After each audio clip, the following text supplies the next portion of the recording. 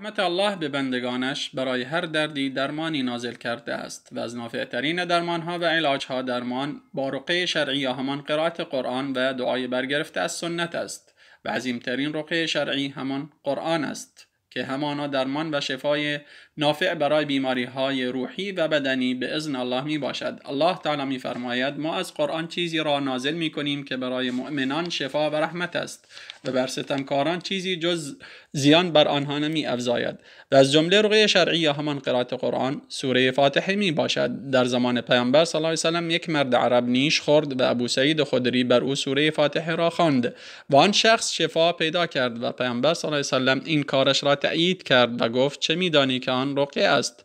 رقیه خواندن با معوذات و هر وقت پیامبر صلی الله علیه وسلم از دردی رنج می برد خود را با معوذات نفت می کرد و بر جسمش مسح می کرد و نفت همان فوت خفیف بدون یا کمی آب دهان است و معوذات همان سوره اخلاص و فلق و الناس می باشد. و رقیه خواندن با شروطی جایز است. اینکه انسان این اعتقاد را داشته باشد که این نفع و شفا فقط از الله است و باید رقیه خواندن مفهوم باشد و از نوع تلسم نباشد و خلاف شرع نباشد. مانند استعانت از جن چرا که شرک است و در حدیث آمده است که رقیه خواندن اگر شرک نباشد مشکلی نیست و مریض برای خود از الله با تزرع و التماس دعا می کند همانند فعل حضرت ایوب علیه السلام.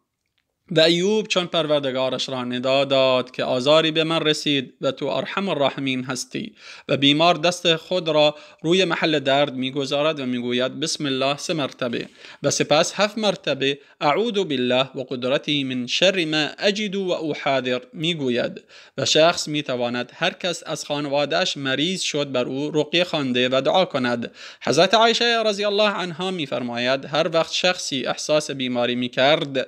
پیامبر صلی الله علیه وسلم با دست راستش بر او مسح می کند و می‌گوید اذهب البأس رب الناس و اشف انت الشافی لا شفاء الا شفاؤك شفاء لا یغادر سقما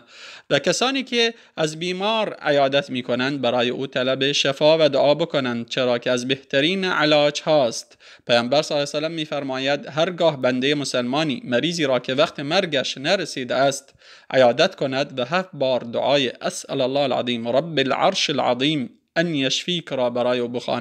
شفا پیدا می کند. پس به رقیه شرعی و دعاهای سنت پیامبر صلی الله علیه و حریص باش چرا که نافعترین درمان است و بدان که شفا از سوی الله هست همانا که حضرت ابراهیم علیه السلام خلیل الله میفرماید و اذا مرضت فهو یشفین.